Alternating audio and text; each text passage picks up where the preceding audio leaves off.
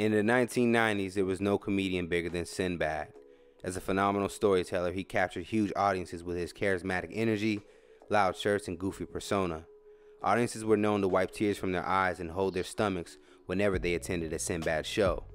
A large amount of Sinbad's appeal was that he always worked clean, making him a family friendly commodity.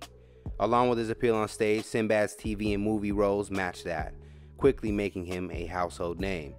However, sometime after a decade ended, we saw less and less of Sinbad on our screens. It appears that there are several reasons why Sinbad would fade back into the unknown. Here's why we stopped seeing Sinbad.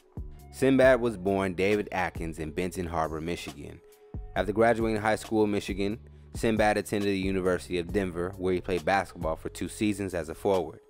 He initially had intentions of playing professionally, but while at school, he was not one of the coach's favorites and grew to be unhappy while playing there.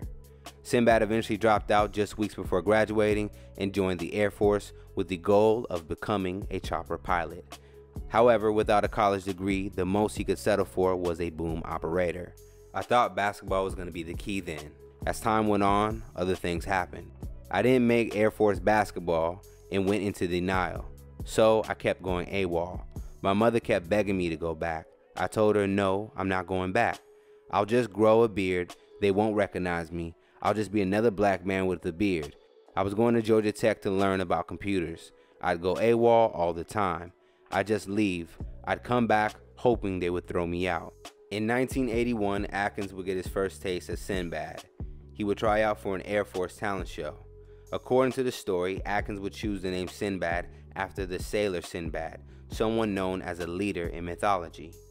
Sinbad would go on to win multiple contests on the base and was able to MC other shows. Stationed in Wichita, Kansas, Sinbad would begin to make trips downtown to the local comedy club where he first got his start in telling jokes. I wanted out because I had achieved all that I could have achieved. I wanted to get on with my life. The Air Force wanted me to re enlist. We had a problem. I went AWOL. By the time I was discharged, I had no rank, no sleeves, no shirt. I spent the next couple of years hitching rides on Greyhound buses from one comedy club to another. When Sinbad began to focus on stand up comedy, his rise to the top did not take long. He appeared on Star Search a total of nine times, eventually making it as a finalist before losing. Despite the fact that he didn't take home the final prize, his performances left an impression on everyone, and he was soon cast as a recurring character on The Redd Foxx Show in 1986. The first taste of Hollywood success wouldn't last long, however, as the show would get canceled after 13 episodes. But Sinbad was only getting started, as he would get another chance on the small screen when he was cast as Coach Walter Oakes on A Different World. He would play a recurring role for the show's first season, but was promoted to the main cast at the start of season 2. While filming A Different World, Sinbad would then serve as the host of Showtime at the Apollo from 1989 to 1991. At the same time, he began to release series of HBO stand-up comedy specials. Between 1990 and 1998, Sinbad starred in four one-hour-long stand-up comedy specials for HBO, as well as hosting several award shows and making multiple stand-up appearances on other shows. There was no comedian who was in demand like Sinbad during the 90s. Aside from TV, Sinbad also found success in movies.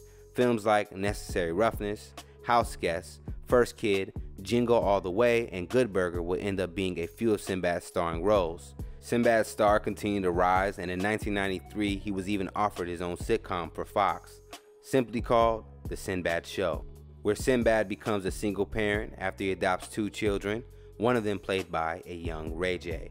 However, unfortunately for Sinbad, the show was canceled after its first season. This episode of Here's Why is presented by Herbal Results. The U.S. National Institute of Health studies show that herbal results products naturally reverse symptoms of high blood pressure, diabetes, eczema, seizures, kidney disease, herpes, and more. Visit herbalresults.net to review video testimonials, scientific data, and to purchase their life restoring products. Results speak louder than words. As the 2000s would creep in, Sinbad's demand would take a noticeable dive for a number of reasons. Around this time, he continued to make a few one episode guest appearances on some sitcoms like Moesha, Girlfriends, and Are We There Yet?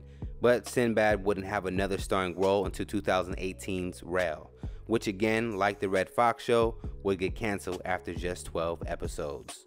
In 2009, after nearly a decade of being out of the spotlight, Sinbad would file for bankruptcy and would explain the situation when he appeared on Oprah Where Are They Now?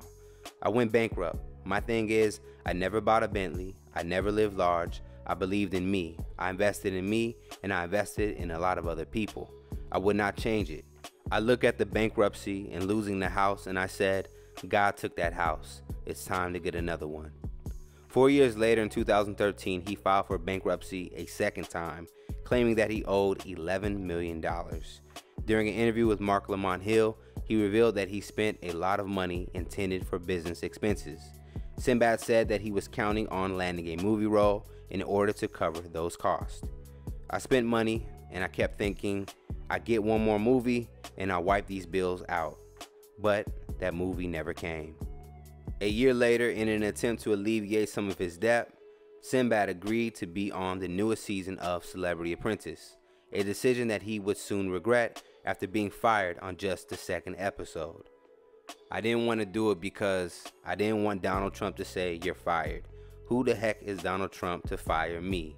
I regret that I didn't tell Donald Trump to fire your barber. Celebrity Apprentice wouldn't be the only reality show Sinbad would be involved in. For a short time, he starred in his own show called Sinbad It's Just Family, which explored his real life family challenges. The series would feature his wife, Meredith Fuller, whom he divorced after seven years of marriage and two children in 1992. The couple, however, ended up getting remarried in 2002 where the two remain together till this day. Another reason for Sinbad's absence is he hasn't always been in the best of health. In 2010, Sinbad used social media to notify his fans of a knee replacement surgery he had to undergo. He received two new joints that he likes to call his bionic knees. Unfortunately, the surgery would leave him with one leg longer than the other. In 2015, Sinbad would face another surgery, a double fusion back surgery, he would go on to tweet a photo out after the 10 hour procedure. Despite his decline in roles, Sinbad has continued to perform on stage. Aside from making audiences laugh when he hits the stage, Sinbad is also known to tour the country as a musician, performing under the name Memphis Red and the Stank Nasty Band. I do funk and comedy. I'm doing comedy from behind the guitar. People couldn't get past me being in a band. So I said, let me create an alter ego. My name is Memphis Red, and he's a whole different cat. Sinbad's daughter Paige is also in the band as a singer. Paige has always wanted to be on stage like her father, but telling jokes wasn't her specialty. When the Stank Nasty band is performing, it serves as bonding time for the two. Before Rel, Sinbad hadn't appeared in a main role since 1998 when he hosted Vibe. And as far as stand up comedy, Sinbad's last stand up special premiered on Comedy Central back in 2014.